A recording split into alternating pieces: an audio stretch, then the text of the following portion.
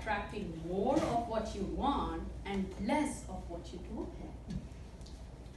You wondered something you wanted, you need, and you focus on that, and it comes in front of you?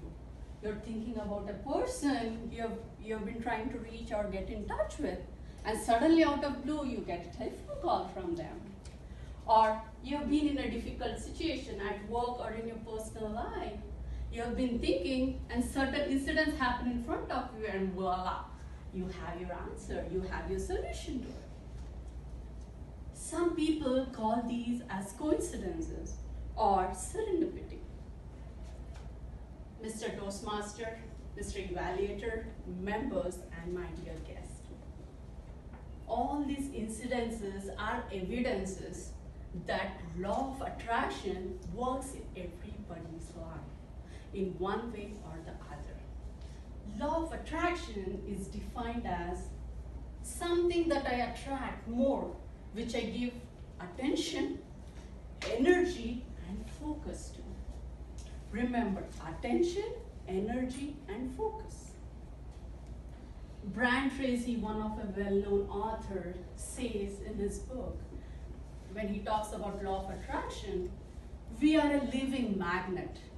We attract more what we think about what and the people, the circumstances, and the situations we are put in, because those dwell in our conscious mind, and we bring that in our future as our experiences. To understand more about law of attraction, we need to understand the term vibrations. What is a vibe?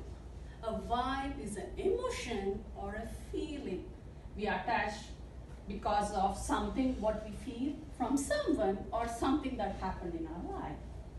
If you open a dictionary, any word which is associated with feeling can be categorized into positive or negative. Negative feelings such as anger, hatred, or I'm sad, or positive feelings such as happy, accomplishment, abundance in life. These are all the positive vibrations. Do you notice the vibes that generates when we utter these sentences and the feelings what we feel? The vibrations are so important. So law of attraction can be categorized into two categories to make you understand better and experience it. One is non-deliberate attraction. Through non-deliberate, though you're a positive person, still you attract negative things in your life.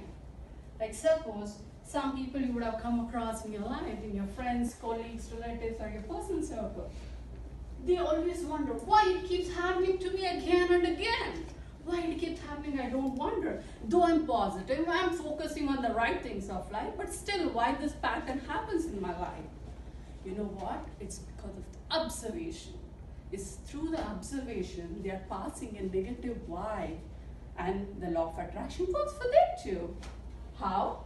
Because they are vibrating more and more of a negative thought through their vibration, and that is, and the universe is giving more and more of that so that they experience the negative feeling. So the better way to do is through a deliberate attraction by using words. I cannot tell you people how important words play in our life. To give you uh, just an example, for some people, when we say homework, they're excited if they already know about it or if they're right students. And for the pe- some people, oh, homework, I have to go home and do. No, I don't like it. You would have heard from your kids. For some people, money. Money means for salespeople, wow, it's an achievement, it's an award. And for some people, no, I'm broke. You know, the words is different for each people. The vibrations, what it carries. You know, like our subconscious and our conscious mind behaves in a certain way. To, um, to demonstrate this, I would like everybody to close your eyes for a few seconds. Now, I want you guys, do not think about Statue of Liberty. Do not think about snowstorm. Now you can open your eyes. I'm sure what you people thought or that came to your mind is Statue of Liberty. Though my instructions said, do not think about Statue of Liberty. It said, no, do not think about snowstorm. Still our mind did. Why? Because our mind the filters out words like don't, not, and no. So, my dear friends, I request instead of using negative expressions in your daily language, focus more on positive expressions. We usually use sentences like don't panic, don't worry. Instead, we could use remember to call me. Instead of saying don't worry, I can say stay calm. Because by using more positive vibrations and using these tools, and we just focus on more on what I actually want, what I actually want to convey. That is our goal, right? So the easy and effective tool is to become aware of our thoughts, our vibrations, and our feelings associated because law of attraction works everywhere. I would like to conclude my law of attraction with the quote from Napoleon Hill.